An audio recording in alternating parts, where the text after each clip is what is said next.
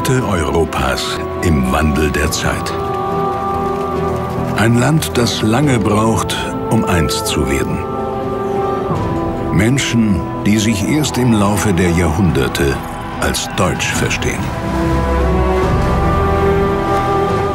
Wer sind wir? Woher kommen wir? Fragen an die Geschichte der Deutschen.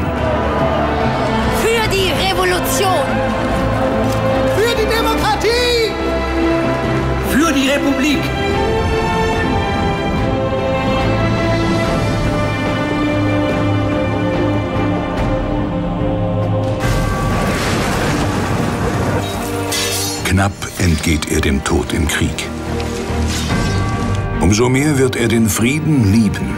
Karl IV., Kaiser und König aus Prag. Die Rivalität mit den Fürsten will er beenden. Doch er ist ein Herrscher in schwerer Zeit. Die Pest tötet ein Drittel der Deutschen.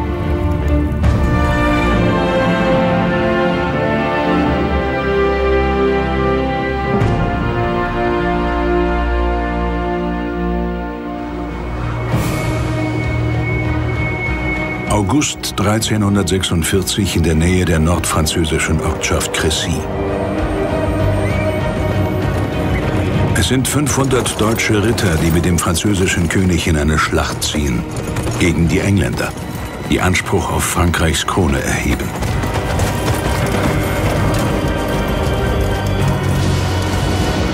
Auch zwei Könige aus Deutschland sind erschienen.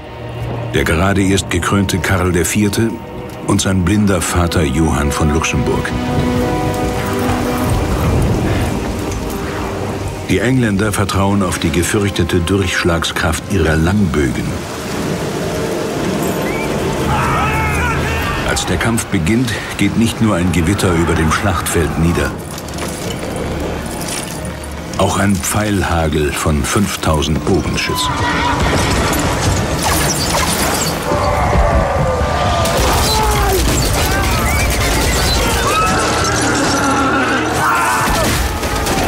Gepanzerten Krieger können ihre Schlagkraft nur im Nahkampf entfalten. Gegen die Distanzwaffen haben sie keine Chance. Crécy wird zum Debakel für die Franzosen und ihre deutschen Verbündeten.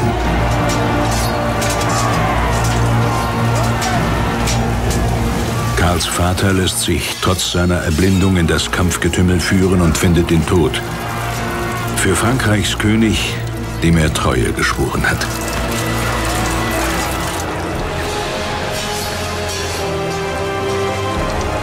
Der Sohn wird nur leicht verletzt. Als sich die Niederlage abzeichnet, drängt ihn seine Leibwache zur Flucht.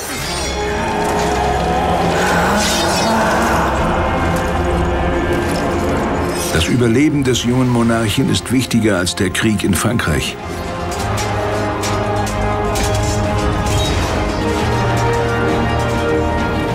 Karl ist seinem Vater nur widerwillig in das militärische Abenteuer gefolgt. Er hat genug Sorgen in Deutschland.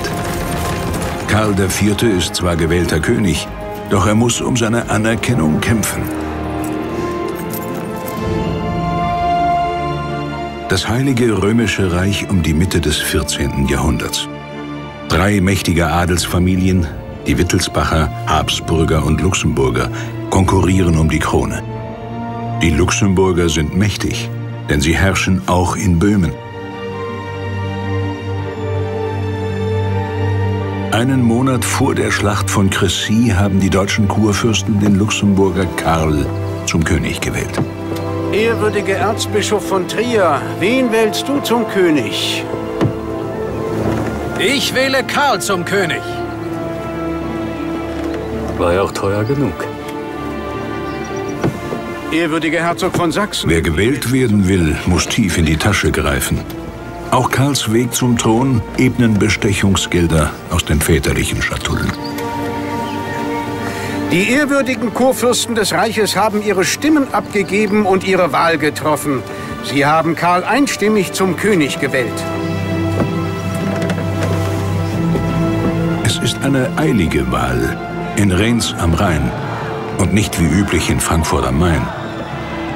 Die Eile hat einen Grund. Was hier geschieht, ist ein politischer Umsturz. Denn Deutschland hat bereits einen König.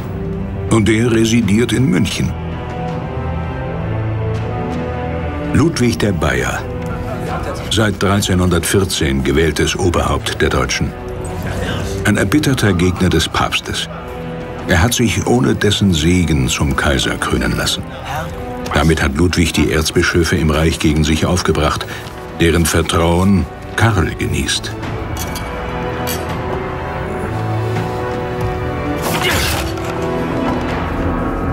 Sie haben diesen Karl zum König gewählt. Der Papst will mich zum Teufel schicken und dieser Hasenfuß Karl ist sein Werkzeug. Aber wie kann ein böhmischer Hase einen bayerischen Löwen erlegen?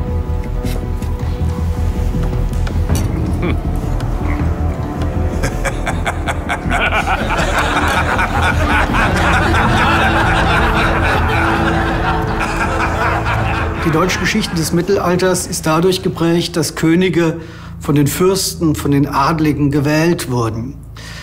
Das führte allerdings dazu, dass in Krisenphasen diese Adligen einen König auch absetzen oder einen Gegenkönig erheben konnten. Das ist insgesamt mehr als zehnmal passiert und führte in der Regel zu Bürgerkriegen, die unter den beiden Königen dann jeweils ausgemacht werden mussten.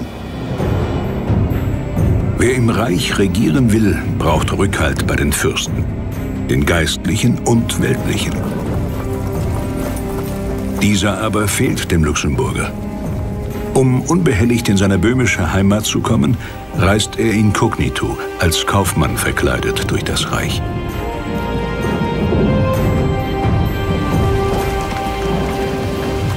Karl ist ein König der Deutschen, der sich vor deutschen Fürsten fürchten muss.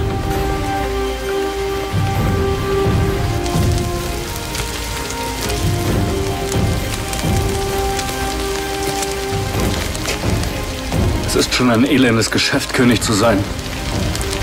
Habt doch Vertrauen. Vergesst nicht, ihr seid von Gott berufen. Berufen? Meine Berufung habe ich in klingender Münze bezahlt. Ich bin kein König, ich bin ein Kaufmann.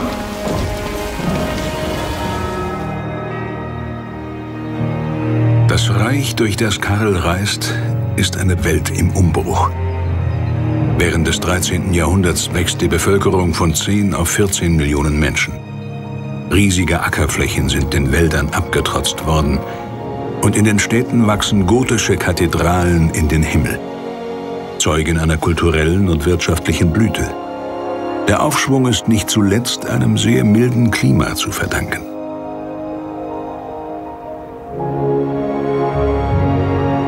Doch um 1300 verändert sich das Wetter dramatisch.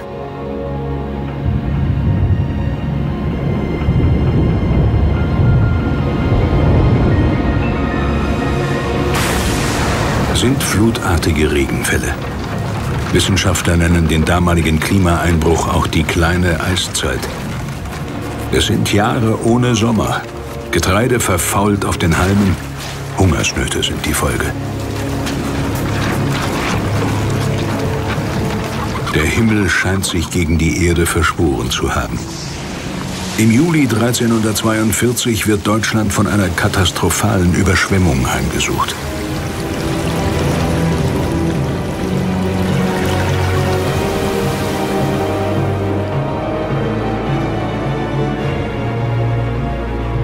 Die Städte an Rhein, Main und Donau versinken in einer Flut von biblischen Dimensionen. Tausende Menschen finden den Tod.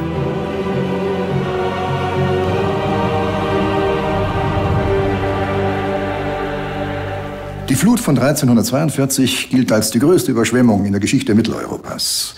An allen großen Flüssen wurden sämtliche Brücken weggerissen. In den Chroniken wird berichtet, dass einem Mann im Mainzer Dom das Wasser bis zur Brust gestanden haben soll und in Köln habe man mit Booten über die Stadtmauern fahren können.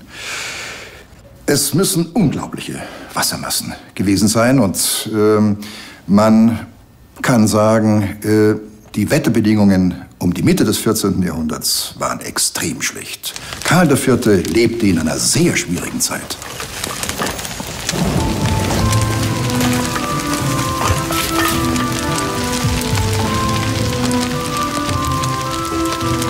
Es dauert nicht mehr lange.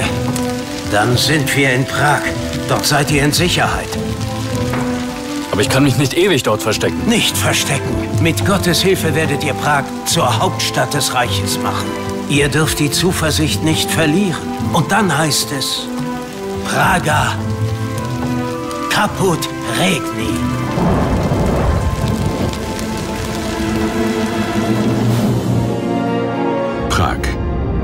Die Residenz und Hauptstadt des Königreichs Böhmen. Auf der Burg, dem Radzin, kam Karl 1316 zur Welt. Die Krone des Königreichs Böhmen hat Johann der Blinde durch eine Heirat erlangt. Nach seinem Tod geht sie auf Karl über. Diese Krone kann ihm im Reich niemand streitig machen.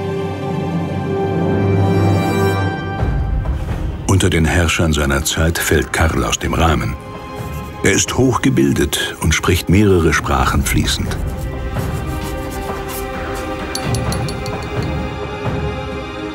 Im Alter von 30 Jahren verfasst er eine Autobiografie auf Latein mit dem Titel Das Leben Karls IV.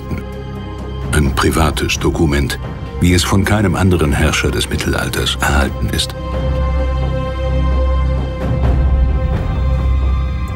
Minutiös schildert er einen Albtraum, der ihn lange beschäftigt.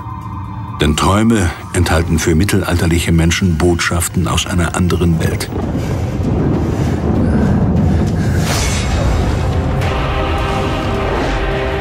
Ein Engel packt ihn an den Haaren und entführt ihn in die Lüfte. Der Flug führt zu einem Schlachtfeld. Plötzlich fährt ein zweiter Engel mit flammendem Schwert vom Himmel nieder und schlägt einem vornehmen Ritter das Geschlechtsteil ab.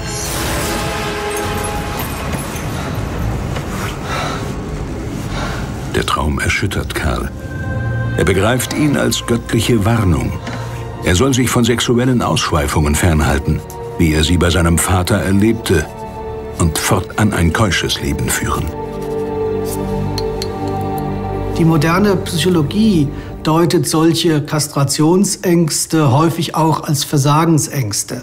Man wird vorsichtig sein, ob man solche Deutungen auf das 14. Jahrhundert übertragen kann. Aber ganz offensichtlich ist, dass Karl IV. unter einem sehr mächtigen Vater und einem sehr schwierigen Gegenkönig litt und dass diese Erfahrungen in seine frühe Königszeit hineinragten. Das Schicksal kommt Karl zu Hilfe. Sein Gegner, Ludwig der Bayer, gibt sich vital und übermütig. Doch im Oktober 1347 fällt er einem Schlaganfall zum Opfer. Selbst herrlich hatte Ludwig den Päpsten getrotzt. Nun denken viele Zeitgenossen, Gott persönlich habe ihn gefällt.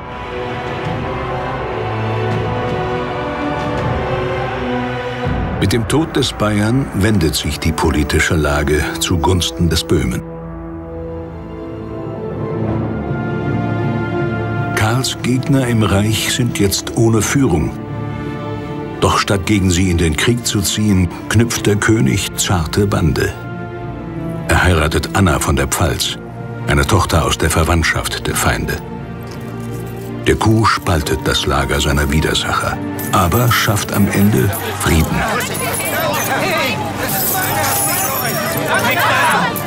Gott möge euch segnen, er schenke euch ein langes Leben. Seht ihr?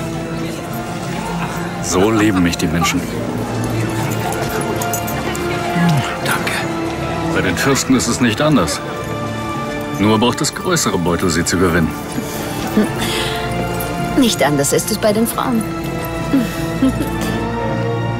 Karl möchte nach Aachen reisen. Dort, in der Kapelle seines Namensvetters Karls des Großen, will er nach vorgeschriebenem Ritual die Königskrone empfangen. Nur wer hier gekrönt wird, gilt als rechtmäßiger Herrscher im Reich.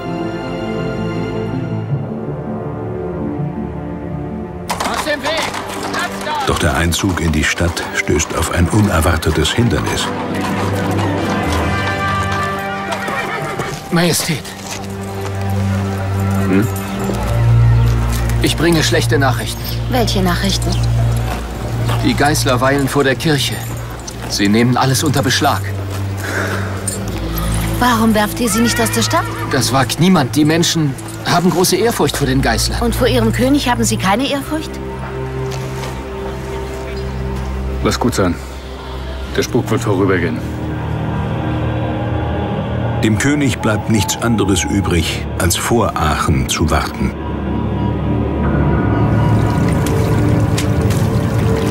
In der Stadt vollzieht sich ein düsteres Schauspiel. Eine Prozession von Geißlern zieht durch die Gassen. Mit Peitschen fügen sie sich selbst Schmerzen zu, um die Leiden Jesu nachzuempfinden. 33 Tage lang, entsprechend den Lebensjahren Jesu, verlassen Männer und Frauen Haus und Hof, um Buße zu tun. Regelmäßig peitschen sie sich gegenseitig nach festgelegtem Ritual öffentlich aus. Allmächtiger Gott, erbarme dich uns armen Sündern und erlöse uns von unserer Schuld! Eine makabre Darbietung in fast allen Städten des damaligen Reiches.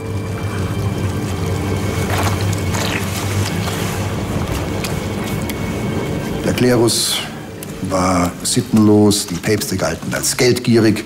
Die Menschen suchten daher nach ganz persönlichen Ausdrucksformen von Frömmigkeit, ähm, Formen, die die Kirche ihnen nicht mehr anbot.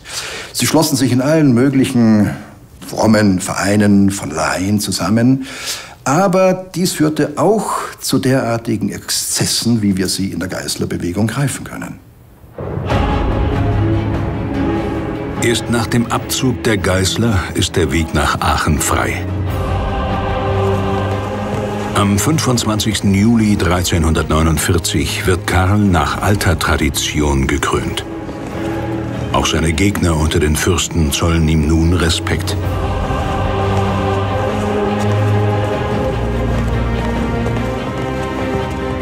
Jetzt endlich ist er der von allen anerkannte König der Deutschen.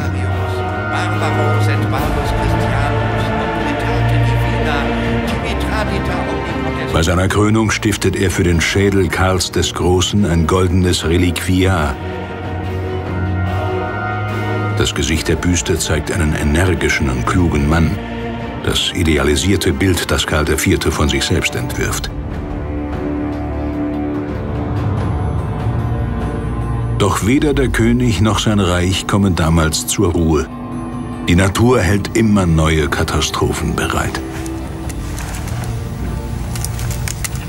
Eine Plage, die man heute in Europa nicht mehr kennt, sucht damals die Länder nördlich der Alpen heim.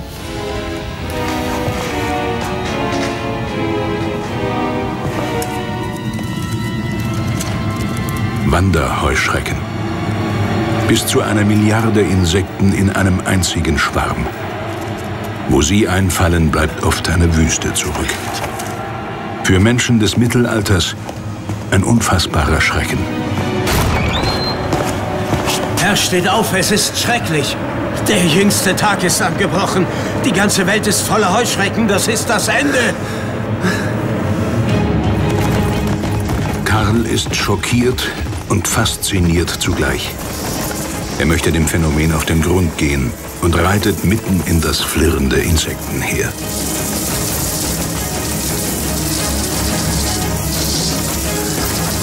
Später erinnert er sich. Der Schwarm war sieben Meilen die Länge und seine Breite war nicht zu überschauen. Ein ungeheures Tosen und ein gewaltiger Gestank gingen von ihm aus. Und sie vermehrten sich, denn zwei erzeugten 20 des Nachts und noch mehr.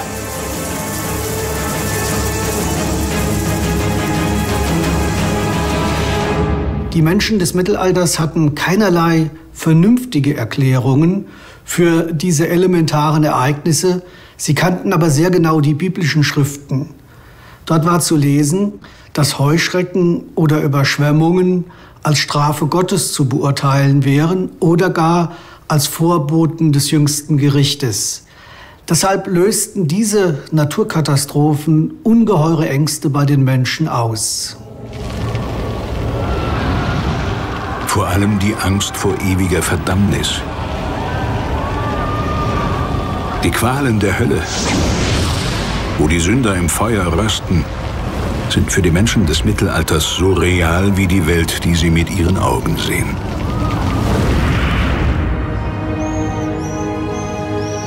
Doch der Glaube bietet auch Trost. Er verheißt die große Hoffnung auf ein ewiges Leben im Paradies.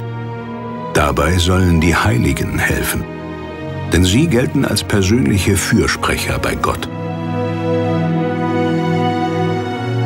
In der christlichen Welt wurden daher immer schon ihre sterblichen Überreste verehrt, sogenannte Reliquien. Knochen, Zähne, Haare oder Dinge, die mit ihren Körpern in Berührung kamen.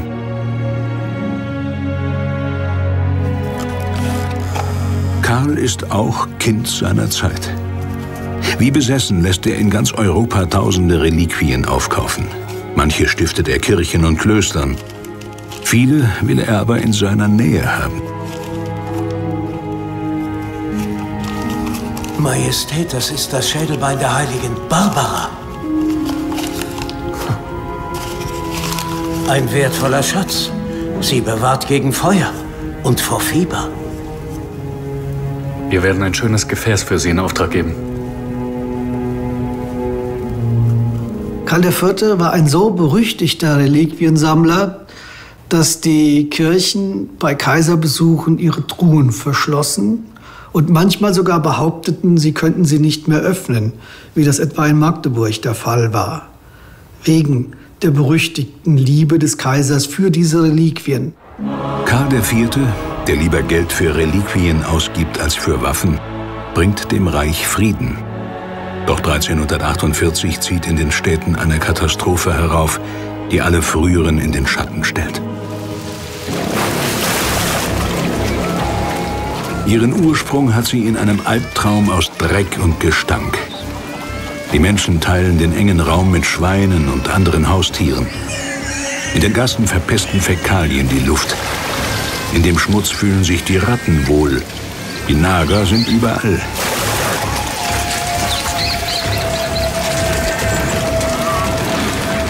Tiere bringen tödliche Gefahr. Die Pest. Erstes Anzeichen ist eine Verdickung der Lymphdrüsen. Wird der Erreger eingeatmet, breitet er sich in der Lunge aus und führt in wenigen Tagen zum Tod. Die Menschen sind der Seuche hilflos ausgeliefert. Niemand ahnt, dass ein einziger Flohbiss das Ende bedeuten kann. Das Ende durch die Pest.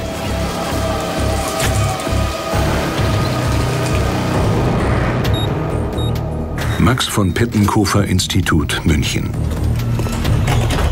Hinter Panzertüren lagert, zu wissenschaftlichen Zwecken, millionenfacher Tod, Viren und Bakterien.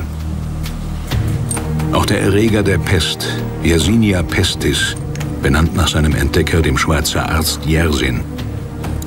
Der Krankheitserreger zählt zur Gruppe der Bakterien, einer der schlimmsten Killer der Menschheitsgeschichte. Übertragen wird er durch den Rattenfloh, der von den infizierten Tieren auf den Menschen überspringt.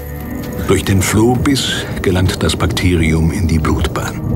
Der Pesterreger ist mit Schiffen über die Krim gekommen, die äh, dann den Pesterreger, also als Schiffsratte sozusagen, äh, nach Genua getragen haben. Und dort sind diese Ratten von Bord gegangen. Das waren dann Wanderratten, die die Pesterreger besser vertragen können als unsere Hausratten und haben von da aus dann für eine Ausbreitung der Pest über ganz Europa gesorgt. In Mainz und Köln sterben im Jahr 1349 an manchen Tagen mehr als 100 Personen. Die Ärzte kennen die Ursache der Seuche nicht. Aber sie machen Beobachtungen, die nützlich sind. Sie bemerken, dass die Krankheit durch Kontakt mit anderen Menschen und sogar deren Kleidung übertragen wird. Sie empfehlen, die Häuser der Toten auszuräuchern, Wäsche und Hausrat zu verbrennen. Trotzdem wütet der schwarze Tod über zwei Jahre lang im Reich.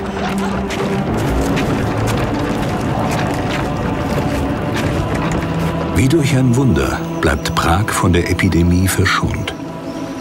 Majestät, vergebt mir mein Eindringen. Aber ich komme gerade aus dem Reich zurück. Ich sah dort Dinge, die unvorstellbar furchtbar waren. So ist es wahr, was man sich von der Pestilenz erzählt? Dass sie schlimmer wütet als früher?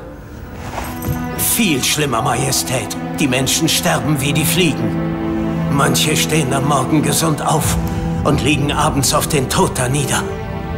Ich sah Mütter, die aus Furcht vor der Pest ihre Kinder im Stich ließen. Jeder versucht, seine Haut zu retten. Viele Priester haben ihre Gemeinde verlassen. Die Menschen sterben ohne die tröstende Kraft der Sakramente und fallen der Verdammnis anheim. Kennt man die Ursache dieses Sterbens? Die Doktoren der Pariser Universität behaupten, die Ursache des Übels sei eine besonders unglückliche Konstellation der Gestirne Jupiter, Saturn und Mars. Der Allmächtige schütze uns. Hilflose Erklärungsversuche, die den Kranken nicht helfen. Die Seuche rafft ein Drittel der 14 Millionen Deutschen dahin.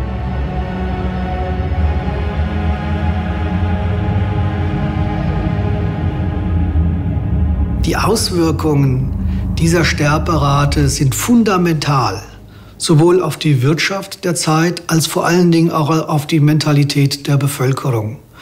Man muss sich nur vorstellen, was es für uns bedeuten würde, wenn innerhalb weniger Wochen 20, 30 oder 40 Prozent der bundesdeutschen Bevölkerung plötzlich zu Tode kämen. Welches Leid das bringt und welche Auswirkungen das auf die Überlebenden hat. Karl lässt in der Nähe von Prag eine Burg errichten. Im Zentrum baute er eine Kapelle. Ihre Wände sind mit Edelsteinen und Blattgold ausgekleidet. Oft zieht sich der König hierher alleine zurück. Es ist sein privates Refugium in den Stürmen der Zeit. Herr, du hast unsere böhmischen Lande vor der Pestilenz bewahrt und uns damit ein Zeichen deiner Gnade gewährt.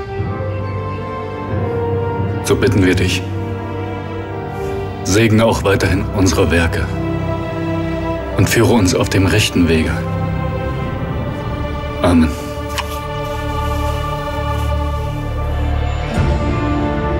Während das Reich im Chaos versinkt, wächst das goldene Prag in den Himmel. Eine Insel des Wohlstands in einer apokalyptischen Welt.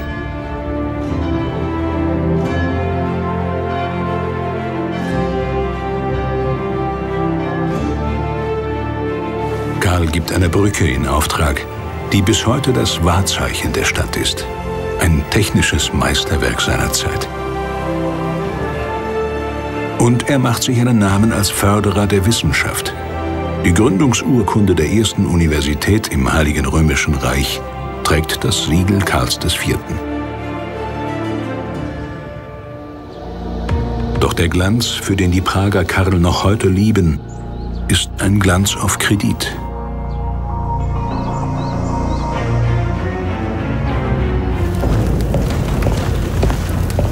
Majestät, wir haben ein Problem. Der Metzger weigert sich, Fleisch zu liefern, solange ihr die ausstehenden Rechnungen noch nicht beglichen habt. Was wagt er sich? Könnt ihr ihn vertrösten? Tut mir leid, aber er lässt sich nicht mehr vertrösten. Ich bin es leid. Ich habe ganze Städte verpfändet. Ich habe Rittertümer an Bürger verkauft und Grafen zu Prinzen gemacht. Aber ich kann den Metzger nicht bezahlen? Bin ich der König der Römer oder der König der Krämer?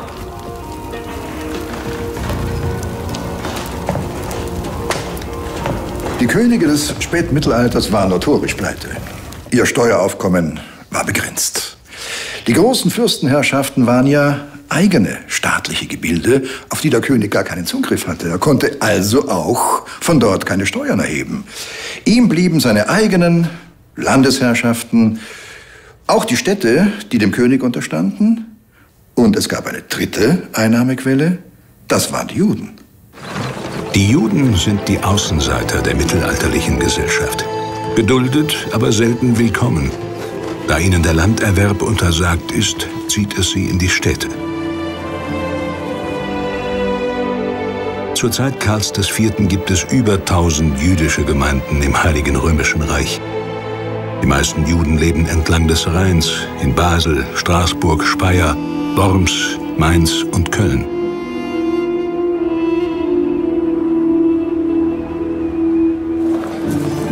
Auch Handwerke auszuüben verwehrt ihnen die christliche Umwelt. So bleibt ihnen nur der Handel und das Geschäft des Geldverleihens. Das macht die Juden zu einem notwendigen Glied der mittelalterlichen Gesellschaft. Aber sie sind Neid und Missgunst ausgesetzt. Denn viele jüdische Familien bringen es zu beträchtlichem Wohlstand.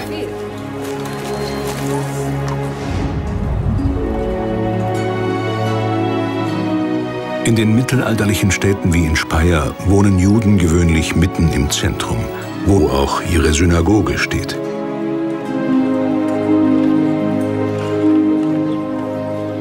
Doch die Existenz der Gemeinden ist immer gefährdet und nichtige Anlässe können zu Mord und Totschlag führen. Deshalb schuf der Staufer Friedrich II. 1236 ein Gesetz, Fortan standen die Juden im Reich unter dem persönlichen Schutz der deutschen Könige und zahlten dafür Steuern. Eine der wichtigsten Einnahmequellen der Herrscher.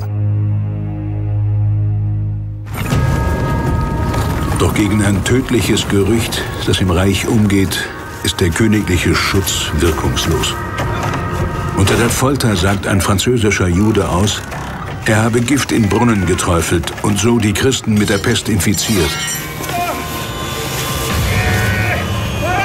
Die Nachricht verbreitet sich schneller als die Seuche selbst.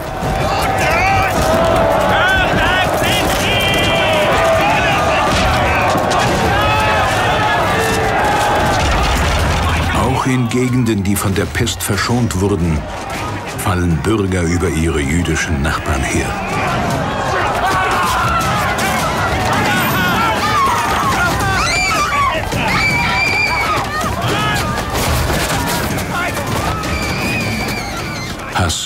Habsucht treiben die Täter an. Denn mit den Juden vernichtet man auch ihre Schuldscheine. Schon ein zeitgenössischer Chronist aus Straßburg entlarvt den eigentlichen Grund für die Pogrome. Alles, was man den Juden schuldete, galt als abgegolten. Wären sie arm gewesen, so hätte man sie nicht getötet.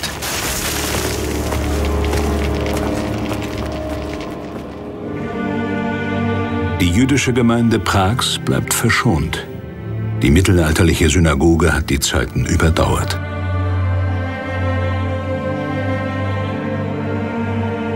Karl IV. verbietet Übergriffe auf die Juden, die er selbst in seiner Hauptstadt eingeladen hat, als treue Steuerzahler.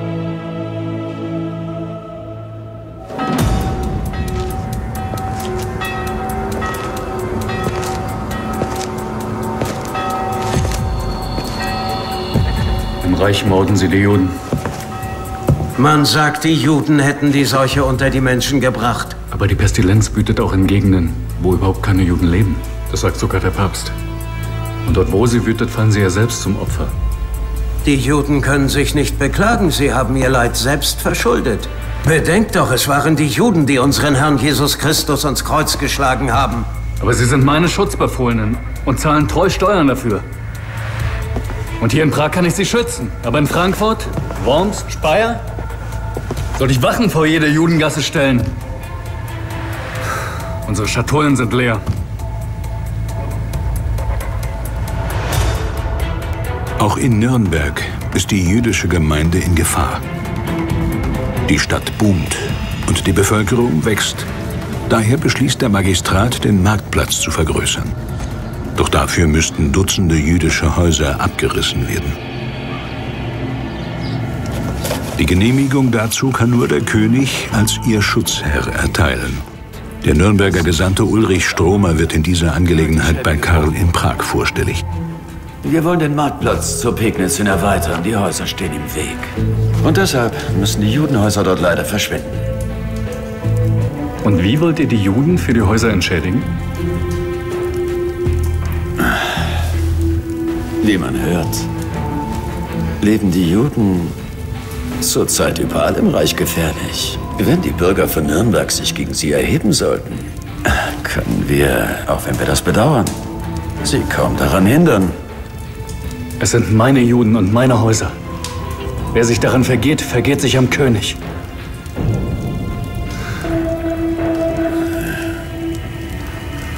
Nur für den Fall, dass... Das soll euer Schaden nicht sein.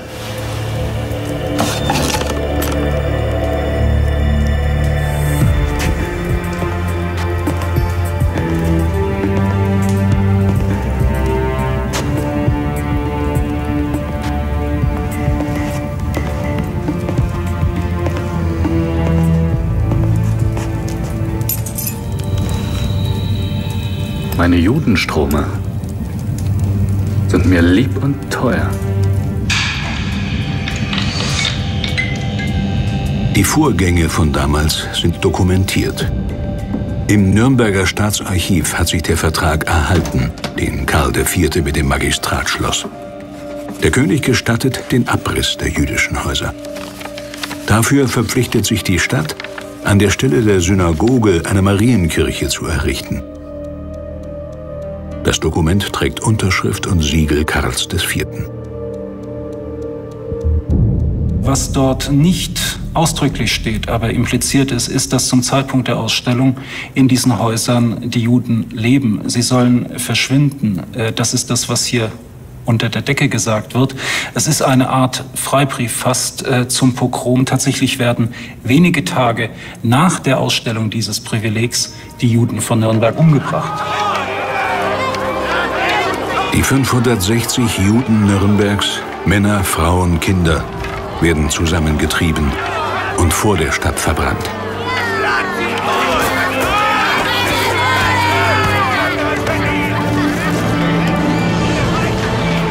Den Massenmorden während der Pestzeit fallen fast sämtliche jüdische Gemeinden des Reiches zum Opfer.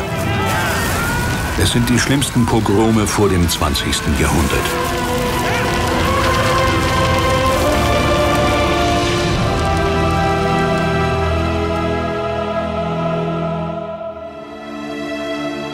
In der Nürnberger Frauenkirche erinnert heute ein Davidstern an die Ereignisse des Jahres 1349 und an das Versagen des Königs, der damals auch in anderen Städten die Juden um seines Vorteils willen preisgegeben hat. Man hat ihn vor einigen Jahren den ersten Schreibtischtäter der Geschichte genannt. Es ist eine erschreckend, eine extrem widersprüchliche Figur. Und das zeigt sich eben gerade in seinem Verhalten gegenüber den Juden. Die Juden seines eigenen Herrschaftsbereiches hat er in den Zeiten der Pest 1348, 49 geschützt. In anderen Gegenden sind sie zum Spielball geworden, auch durch sein Agieren, weil er letztlich die Juden, die unter kaiserlichem, unter königlichem Schutz stehen, der königlichen Kammer zugehören, preisgegeben hat und er damit auch seine Anhänger entschädigt hat. Naturkatastrophen, Pest und Pogrome haben ungeheures Leid über die Menschen in Deutschland gebracht. Der König will, dass nun Ruhe in sein Reich einkehrt. In Nürnberg versammeln sich auf Initiative Karls im November 1355 die Kurfürsten zu einem Reichstag. Was er ein für allemal festlegen möchte, sind eindeutige Richtlinien für die Königswahl.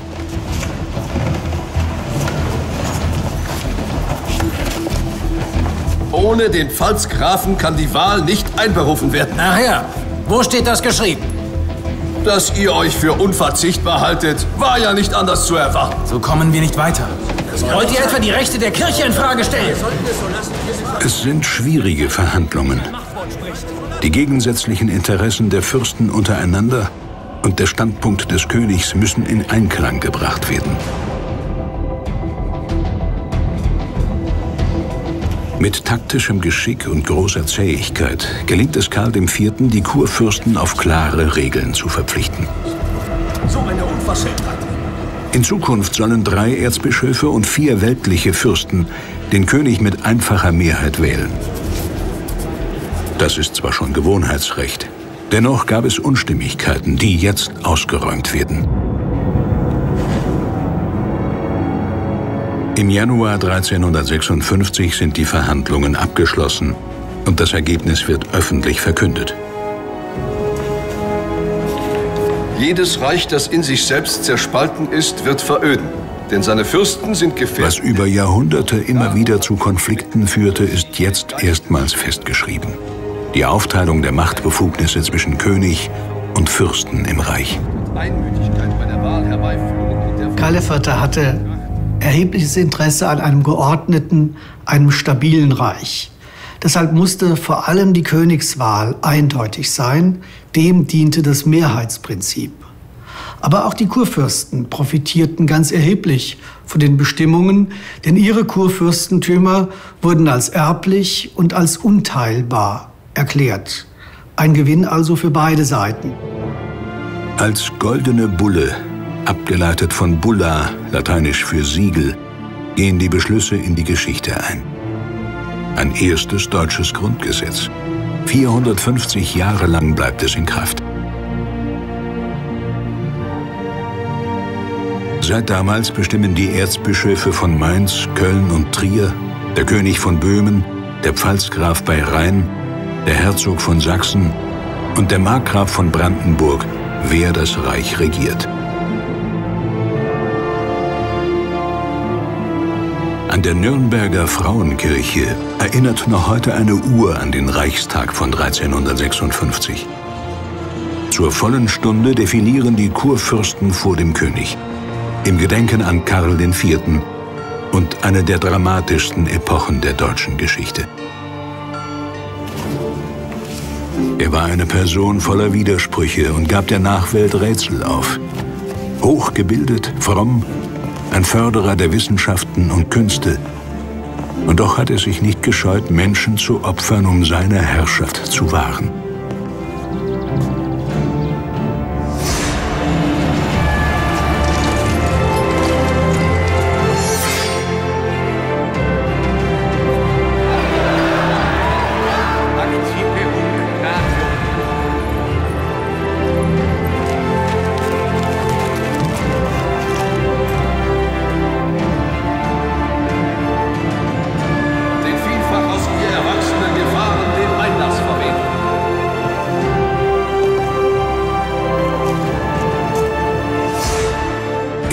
Zeit des Umbruchs gab Karl IV. den Deutschen eine neue Ordnung, in der festgeschrieben wurde, was das Land schon immer prägte. Selbstbewusste Regionen und ihre Herrscher. Keine Metropole, aber viele aufstrebende Städte.